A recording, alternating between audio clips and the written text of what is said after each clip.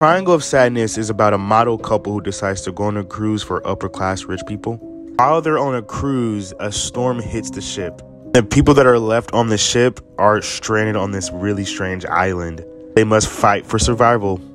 Triangle of Sadness is a two and a half hour movie that takes a while to get going. But the movie is kind of unsettling. It kind of feel like something bad could happen at any moment. This movie is also really strange. Camera angles are pretty weird, but Triangle of Sadness is a W though. Check it out.